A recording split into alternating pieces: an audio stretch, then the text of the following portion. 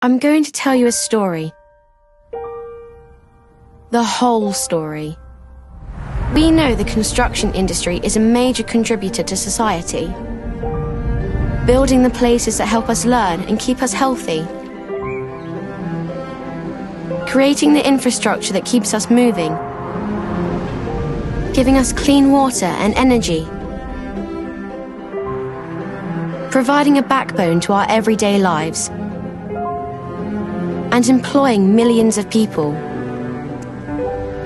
But there's a downside.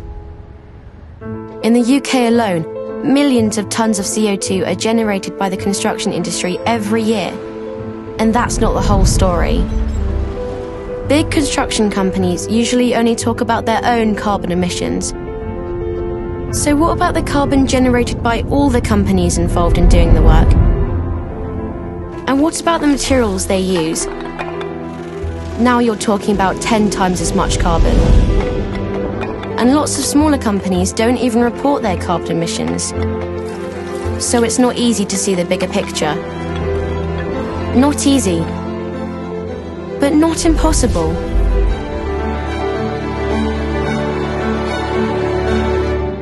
Don't you think it would be good if construction companies talked about all that carbon and could tell the whole story? And if they couldn't measure it perfectly, what if they could reliably estimate it? What if they'd analyse years of data to understand trends and plot a path to the future? That's what Skanska UK has done.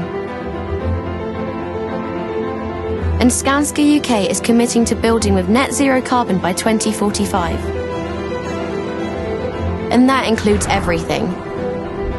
Think of a world where fantastic buildings, roads, and railways are created, connecting people, giving them great places to live and work in, and where the CO2 impact during construction is. well, there isn't one. That would be a future we could really look forward to.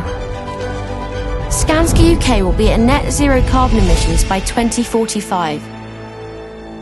And that's the whole story.